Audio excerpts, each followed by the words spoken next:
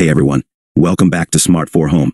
Today, we're diving into a common concern that many Ecobee thermostat users might encounter, the dreaded yellow light. If you've ever found yourself asking, why is my Ecobee flashing a yellow light? You're in the right place. Stick around as we explore the possible reasons behind this, and most importantly, how to troubleshoot and resolve the issue.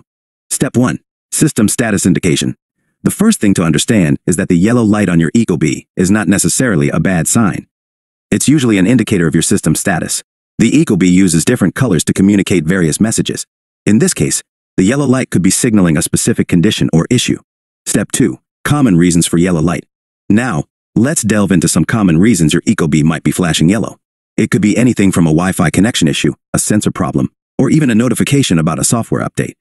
Understanding these potential causes will help you pinpoint the problem more efficiently. Step 3. How to troubleshoot. So, You've identified that the yellow light is not just a random occurrence. What's next? Fear not. We've got you covered with a step-by-step guide on how to troubleshoot the issue. From checking your Wi-Fi connection to examining the sensor connections, we'll walk you through the process of eliminating possible culprits. Step 4. When to seek professional help. While many issues can be resolved through troubleshooting, there are instances where it's best to call in the professionals.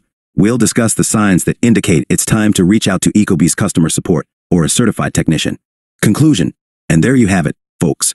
A comprehensive guide on why your Ecobee might be flashing a yellow light and how to address it. Remember, understanding your thermostat signals is key to maintaining a comfortable and efficient home environment.